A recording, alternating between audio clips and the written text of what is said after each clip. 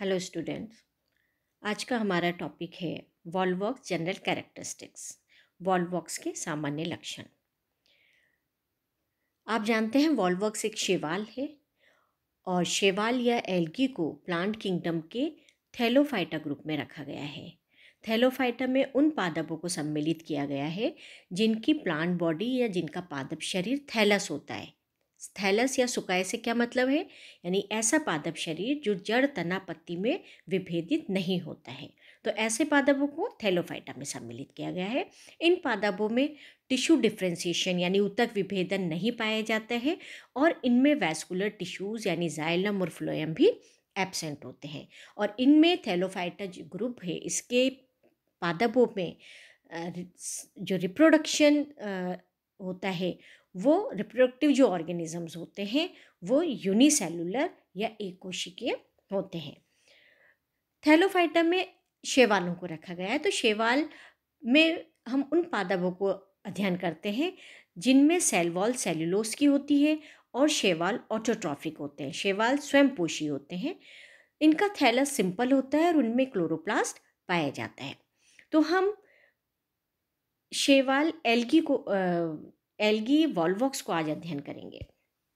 Volvox की हम सबसे पहले वर्गीकृत स्थिति के बारे में अध्ययन करेंगे कि इसको किन किन डिवीज़न या किस क्लास ऑर्डर में इसको रखा गया है। वॉलवॉक्स को डिवीज़न क्लोरोफाइटा में रखा गया है। तो क्लोरोफाइटा में उन पादपों को सम्मिलित किया जाता है, उन एल्गीज को सम्मिलित किया जाता है जो ग्रीन होती हैं। तो ग्रीन एल्गी क्लोरोफाइटा में पाई जाती हैं। इनमें क्लोरोफिल जो पिगमेंट होता है, वो प्रीडोमिनेंट होता है। इसमें रिज़र्व फ़ूड क्लोरोफाइटा के मेंबर्स में स्टार्च होता है, जो भोज्य पदार्थ संचित भोज्य पदार्थ होते हैं, वो स्टार्च होते हैं। क्लोरोफाइटा की क्लास क्लोरोफाइसी में वॉलवॉक्स को रखा गया है तो क्लोरोफाइसिस में ग्रीन एल्गिस को सम्मिलित किया जाता है और इनमें जो चल या फ्लैजिलेटेड जो एल्गीज होती हैं, उनमें फ्लैजिला की संख्या दो, चार या उससे ज़्यादा हो सकती है, लेकिन फ्लैजिला समान आकार के होते हैं। इनमें क्लोरोप्लास्ट जो पाया जाता है क्लोरोफाइसी के मेंबर में, उनमें पायरिनोइड प्रेजेंट होता है और स्टोर स्टोर जो फ़ूड होता है, इसमें स्टार्च होता है। वॉल्वोक्स को ऑर्डर वॉल्वोकेल्स में रखा गया है तो वॉल्वोकेल्स में उन शेवालों को सम्मिलित किया गया है, जिनमें क्लोरोप्लास्ट प्रेजेंट होता है, वेजिटेटिव सेल फ्लैजिलेटेड होती हैं, जो कई कोशिकाएँ होती हैं उन पर कशाभिकाएँ पाई जाती हैं। क्लोरोप्लास्ट इनमें कप शेप्ड होता है और इनमें जो रिप्रोडक्शन होता है, वो समयुग्मकी असमयुग्मकी और विषम युग युग्मकी टाइप का होता है, यानी isogamous and isogamous and oogamous type का रिप्रोडक्शन, लैंगिक जनन पाया जाता है। वॉल्वोक्स को फैमिली वॉल्वो कैसी में रखा गया है? तो वॉल्वो कैसी में उन मेंबर्स को रखा गया है जो कॉलोनी बनाती हैं, सिनोबियम।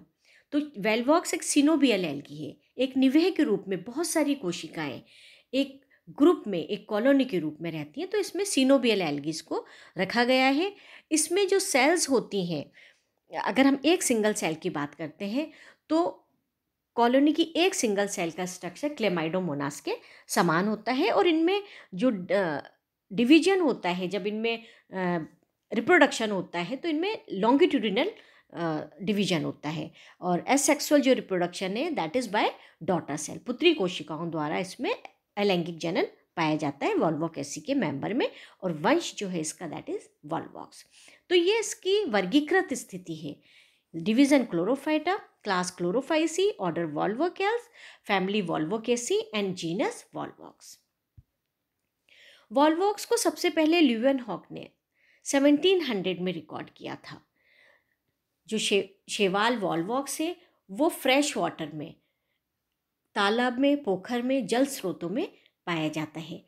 इसकी नेचुरली क्योंकि शेवाल है तो ऑटोट्रॉफिक है और ऑटोट्रॉफिक है तो ये फोटोसिंथेसिस द्वारा अपना भोजन स्वयं बनाते हैं और ऑक्सीजन रिलीज़ करते हैं। तो ये प्रोडक्शन करते हैं ऑक्सीजन का। तो इसके साथ साथ ये कुछ एक्विटिक ऑर्गेनिज्म का भोजन भी बन जाते हैं। वॉल्वॉक्स ऑरियस ये एल्गल ब्लूम बनाता है, जो हार्मफुल रहता है, यानी इतनी तेज़ी से मल्टीप्लाई होता है कि पूरा जो जल स्रोत होता है, जहाँ पे ये पाए जाते हैं, वहाँ पे पूरा मल्टीप्लाई होकर के बहुत अधिक मात्रा में फैल जाते हैं और उसका जो सतह होती है उसको कवर कर लेते हैं। तो ये पुंज लाइक स्ट्रक्चर, पिंड के समान बहुत सारा पुंजों में, जल पुंजों में विभक्त हो जा, फैल जाते हैं और जो एक्विटिक ऑर्गेनिजम्स होते हैं, उनके लिए हार्मफुल होते हैं। वॉलवॉक्स की लगभग बीस जातियाँ पाई जाती हैं और सभी जो जातियाँ होती हैं, वो फ्रेश वाटर होती हैं। यानी ये अलवणीय जो जल होता है, उसमें पाए जाते हैं। ये टेम्परेरी और परमानेंट जो पौंड होते हैं या जल स्रोत जो होते हैं, उनमें गोलाकार पिंडों के रूप में पाई जाती हैं। रेनी सीज़न में इनका बहुत तेज़ी से जब इनका मल्टीप्लिकेशन होता है तो ये उस वाटर बॉडी के ऊपर पूरी ग्रीन सतह के रूप में दिखाई देती हैं। ये कॉलोनी में पाई जाती है, जो वॉलवॉक्स है, वो सीनोबियल होती है। सीनोबियल एल्गी है, यानी ये सीनोबियम बनाती हैं। सीनोबियम मतलब ऐसी जो कोशिकाओं का ग्रुप या समूह, जो निश्चित संख्या में होती हैं और निश्चित स्थिति में वो कोशिकाएँ पाई जाती हैं और एक ग्रुप में फॉर्म हो जाती हैं तो उसे सीनोबियम कहते हैं।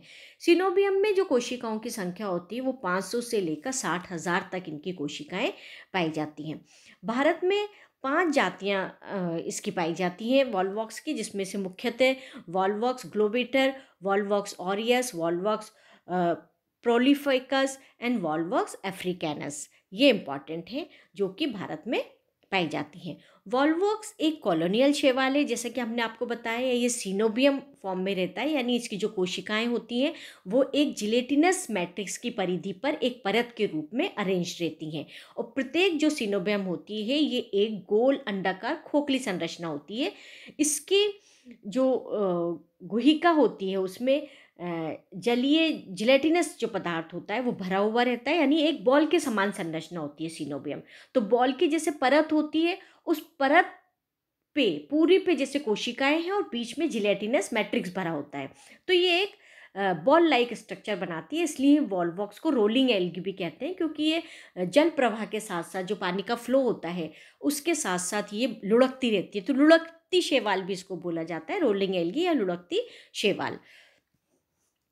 इसकी जो सिंगल कॉलोनी होती है, उसका size point five M M इसका व्यास होता है, जो इसका डायमीटर होता है, वो बहुत छोटा होता है, यानी बहुत माइन्यूट होती हैं, हमें नेकेड नेकेडाइट से वो दिखाई देती हैं, लेकिन उनको स्टडी करने के लिए हमें माइक्रोस्कोप की ज़रूरत होती है। तो बहुत छोटी छोटी छोटी छोटी ऑलपिन के हेड्स की तरह इसकी जो कॉलोन कॉलोनीज होती हैं, या सीनोबियन होता है इसका ना। वॉल्वॉक्स ऑरियस में जो सीनोबियम की कुछ सेल्स होती हैं, वो क्लेडम क्लेमाइडोमोनास की तरह होती हैं। उसका जो शेप होता है कोशिका का, वो गोल इलेक्ट्रिकल या पियर शेप्ड इसकी कोशिकाएँ होती हैं। इनके कोशिकाओं की जो संरचना होती है, वो यूकैरियोटिक होती है। इस सीनोबियम में, जो वॉल्वॉक्स एक सीनोबियम फॉर्म में पाई जाती है, इसमें दो तरह की सेल्स पाई जाती हैं सोमेटिक सेल्स यानी कायिक कोशिकाएँ एंड जर्म सेल्स या रिप्रोडक्टिव सेल्स यानी जनन कोशिकाएँ। तो जो सोमेटिक सेल्स होती हैं, वो फ्लैजिलेटेड होती हैं और germ cells mostly non flagellated होती हैं इन पे फ्लैजिला नहीं पाए जाते हैं। इन जो सेल्स का अगर हम कोशिकाओं की बात करते हैं तो इनका जो अग्रभाग होता है, वो पेपिलेट होता है, थोड़ा पॉइंटेड होता है और इनका protoplasm plasma membrane cytoplasm nucleus chloroplast contractile vacuoles eye spot and flagella में विभेदित होता है। तो इसका जो बहुत सारी इसमें संरचनाएँ पाई जाती हैं। तो इसकी संरचनाओं में जो प्लाज्मा मेम्ब्रेन होती है, वो सेल वॉल के अंदर की ओर एक पतली सेमी परमेबल मेम्ब्रेन होती है, जो कि साइटोप्लाज्म की पेरीफेरी पर पाई जाती है, यानी उसकी साइटोप्लाज्म की परिसीमा बनाती है। ये कोशिका द्रव में एक कप शेप्ड क्लोरोप्लास्ट पाया जाता है। ये क्लोरोप्लास्ट नीचे से चौड़ा होता है। जो क्लोरोप्लास्ट पार्ट होता है, कोशिका का जो नीचे चौड़ा भाग होता है तो ये पेपिलामय अगर हम आपको कह रहे हैं नाशपति के आकार का तो जो इसकी सेल होती है वॉलवॉक्स की, वो आगे से पॉइंटेड होती है और नीचे से ब्रॉड होती है। तो क्लोरोप्लास्ट भी जो होता है, वो कप शेप्ड बन जाता है। क्लोरोप्लास्ट के निचले चौड़े भाग में, लगभग मध्य में, बीच में पायरिनॉइड पाया जाता है। पायरेनॉइड का जो सेंट्रल कोर होता है, वो प्रोटीन का बना होता है और इसके चारों ओर स्टार्च प्लेट्स पाई जाती हैं। तो ये जो आपको स्ट्रक्चर दिखाई दे रहा है, ये यहाँ पे लिखा हुआ नहीं है लाइन देखिए आप, ये पायरिनोइड है। तो ये पायरिनोइड का जो सेंट्रल पोर्शन होता है, ये प्रोटीन का बना होता है और इसके चारों ओर स्टार्च प्लेट्स लगी होती हैं। इस सेल के आगे के भाग पर, अग्र भाग में क्लोरोप्लास्ट द्वारा निर्मित जो खोखला प्याले नुमा गुहिका में साइटोप्लाज्म पाया जाता है तो ये जो कप बनता है, उसके बीच में साइटोप्लाज्म पाया जाता है, जिसमें न्यूक्लियस प्रेजेंट होता है। कोशिका के आगे कॉन्ट्रेक्टाइल वैक्यूल वैक्यूल्स प्रेजेंट होती हैं। ये कॉन्ट्रेक्टाइल वैक्यूल्स ऑस्मो रेगुलेशन करती हैं, यानी जो रसाकर्षण होता है उसका विनिमय करती हैं, उसको रेगुलेट करती हैं कॉन्ट्रेक्टाइल वैक्यूल जिन्हें अकुंचलशील रिक्तिकाएँ कहा जाता है। इनके कुछ नीचे एक रेड आई स्पॉट होता है, ये कॉन्ट्रेक्टाइल वैक्यूल और ये आई स्पॉट ये वाला। तो आई स्पॉट इसमें पाया जाता है, जो रेड कलर का होता है।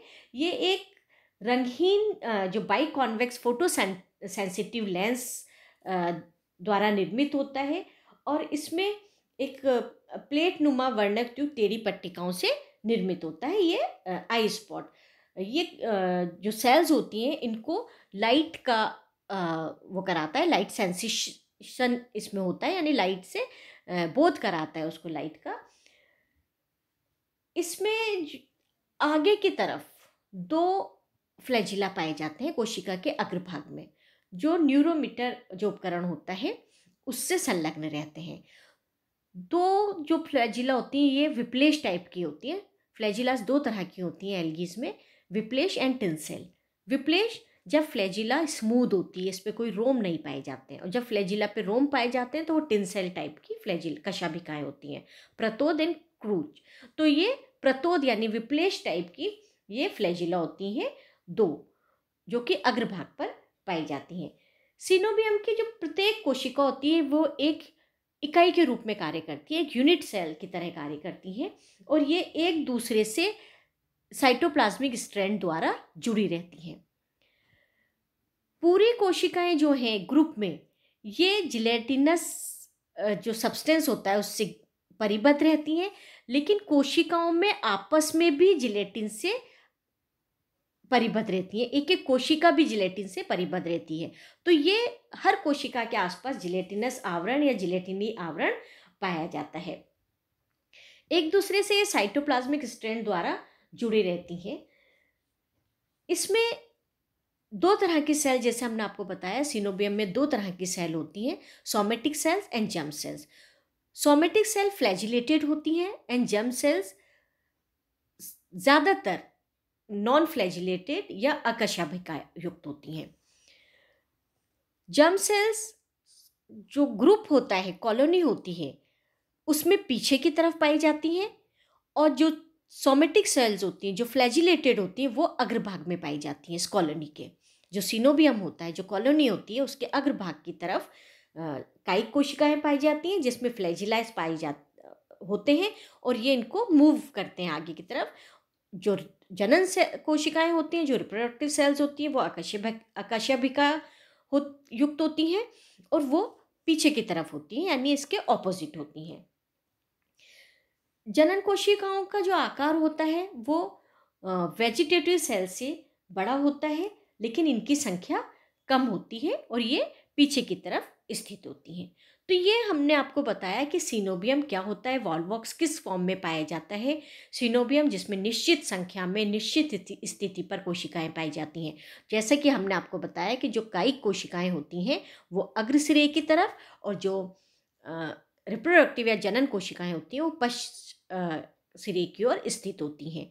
इनका जो संरचना होती है कोशिका की, उसको हमने अभी आपको एक्सप्लेन किया। नेक्स्ट क्लास में हम आपको रिप्रोडक्टिव सेल्स या रिप्रोडक्शन के बारे में स्टडी कराएँगे वॉलवॉक्स में किस तरह से जनन की क्रियाविधि होती है, वो हम अगली क्लास में अध्ययन करेंगे। Thank you